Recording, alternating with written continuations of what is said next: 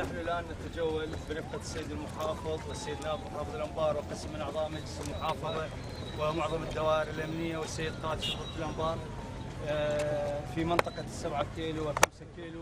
الآن ومنذ اليوم بدأت الحملة على أوسع أبوابها بعد أن أتت الحكومة المحلية بعدد كبير من الآليات التخصصية لدوائر بلدية آه، الرمادي لغرض رفع الأنقاض ومن ثم الشروع بإعادة النازحين إلى آه، مركز محافظة آه، الرمادي وتحديدا منطقه السبعة كيلو والخمسة كيلو. ولكن ال- ال- الحمل كبير ونطلب من أبناء محافظة أنبار النازحين الصبر علينا. إن شاء الله سوف نقوم بفترة وجيزة برفع هذه الانقاض ومن ثم اعاده النازحين. وبالمرحلة الثانية التوجه إلى مركز قضاء الرمادي بعد إكمال الاجهزه الأمنية إن شاء الله رفع هذه العبات اليوم محافظة الأنبار بشقيها التنفيذي والتشريعي على متفقة على كلمة واحدة. همها اعاده النازحين ورفع الأنقاض وإعادة الاستقرار للمحافظة بعد الجهد الأمني الكبير الذي بذله أبناء محافظة الأنبار والأجهزة الأمنية ولا ننسى دور أبناء شرطة الأنبار افواج الشرطة إضافة إلى أبناء الحشد العشائري الذين اليوم كما ترون هم يمسكون هذه المناطق بعد التطهير. وقسم منهم يمارس عمله اليومي في تنظيف مع مع الأجهزة الأمنية.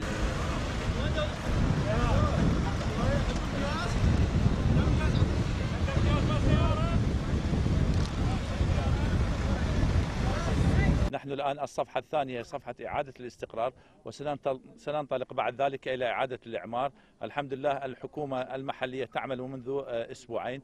أنجزت الكثير من آه، آه، المتطلبات لإعادة النازحين. كل العمل الذي يجري هو بالجهود الذاتية. ال- ال- الفرق المتخصصة في رفع مسح ورفع الألغام أنجزت الكثير وأنجزت حيين لحد الآن هم الخمسة كيلو والسبعة كيلو. أطلب من كل آه، من يستطيع أن يساعدنا وخصوصا الشركات آه، آه، المتخصصة والمقاولات العامة في محافظة الأنبار. والكل يعلم أن في محافظة الأنبار عشرات أو بل مئات الشركات التي تعمل في مجال المقاولات.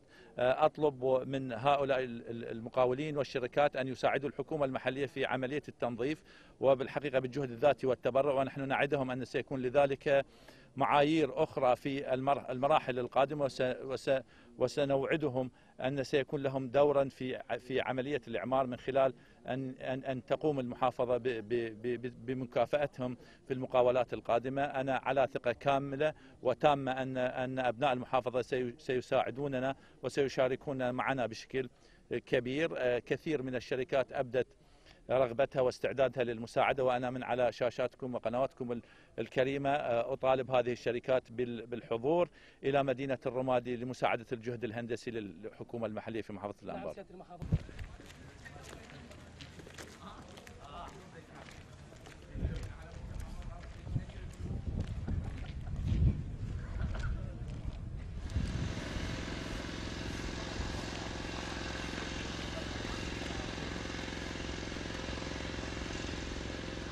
نعم منذ بدء ال- ال- الحملة لإعادة الاستقرار في مناطق السبعة كيلو والخمسة كيلو والتأميم آه، باشرت الملاكات الهندسية وبالتنسيق وبالتعاون مع ال- ال- الهندسة. الهندسة العسكرية وكذلك مديرية المتفجرات في قيادة شرطة الأنبار وأبناء الحشد الشعبي الذين لديهم الخبرة في هذا المجال.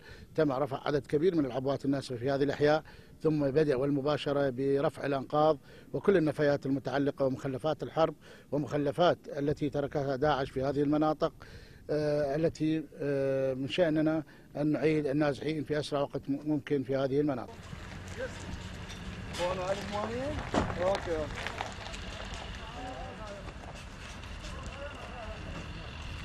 أتينا اليوم للمباشرة بحملة تنظيف مدينة الرمادي بعد رفع أغلب العبوات من مناطق 7 كيلو و5 كيلو. نحن الآن واقفين قرب هذا الجسر وهذا الجسر يعتبر تاريخ لأهل الرمادي. ليعلم آه، أهل الأنبار أو ليعلم المواطنين وليعلم المسلمين ما يفعل داعش من ظلم وكفر وتهجير لأنه هو عدو للإنسانية وعدو للتراث وعدو للتاريخ. الآن عملنا نحن كمجلس محافظة باعتبارنا رئيس لجنة الخدمات مجلس محافظة. قد أتينا اليوم مع الآليات المتخصصة لبلدية الرمادي وجهد ال- الهندسي معها وكذلك ذات الكهرباء والماء. لدينا من يوم غد سيكون هناك عمل دؤوب وجدي رئاسة السيد نائب محافظ الأنبار للشؤون الفنية الأستاذ علي فرحان وتعاون لجنة المحافظة.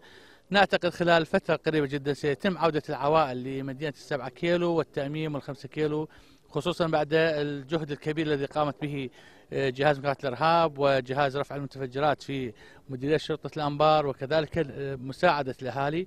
هناك جهد إضافي موجود في منطقة حصيبة وجارية وجويبة بالتعاون مع أبناء العشائر الموجودة في تلك المناطق حيث تم منذ اليوم رفع العبوات وتنظيف الشوارع.